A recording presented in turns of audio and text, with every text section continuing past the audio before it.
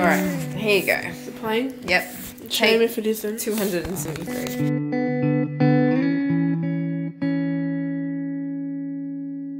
Tim Eyes, a young farming champion, said it was a privilege to feed others with his quality beef. A privilege, he said. We did not know how big this statement was until we set out to learn more.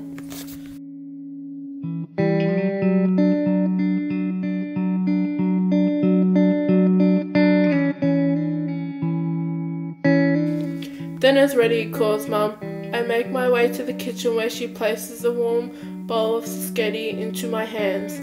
I look down and all of a sudden I am hit with the aroma of beef. I suddenly remember the day I met Tim Eyes. I suddenly remember what I have learned in class.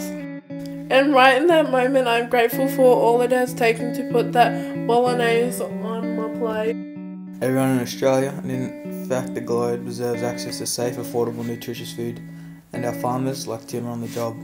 Did you know that despite being the driest continent, Australian cattle farmers play a major role in feeding the world?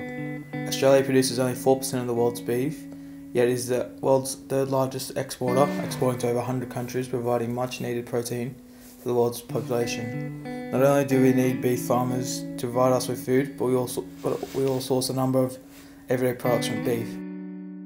But what are we doing to support our farmers? They have a lot to think about to make this happen for us. Have you ever thought what a farmer thinks? A farmer needs to consider the weather and the impact this weather has on the land. They need to think about water and in Australia, the lack of water. They need to consider the environment and more and more pressure is being put on farmers to be environmentally friendly and change their agricultural practices to help combat climate change. They need to look after their animals with animal welfare a top priority in their day to day work. After all, these animals are their bread and butter. Safety of their workers and safe food production is also a thought. Farmers consider the way new technology can support them. They sweat about money and how to pay for all of this while still supporting their family. Families who often work together on the farm. Children are doing chores and caring for animals before and after school, all to put nutritious food on our tables, all to ensure we are a healthy community. Farmers have a lot to think about, and I need to think about it more. I need to think about how I can support my farmers, support our nation. I need to think about my food waste and take responsibility for educating others in my home and school.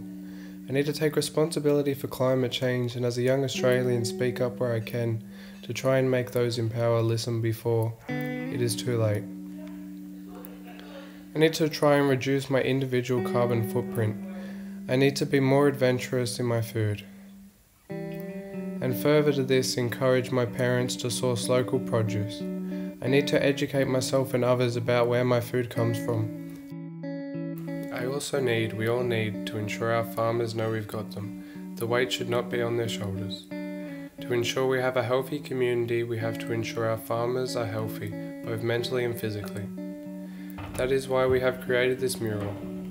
It will be auctioned off to support rural initiatives through the Aussie Farmers Foundation. Tim Eyes says he is proud to be a part of this industry. We are proud of him. It takes courage to be a farmer and feed this hungry nation.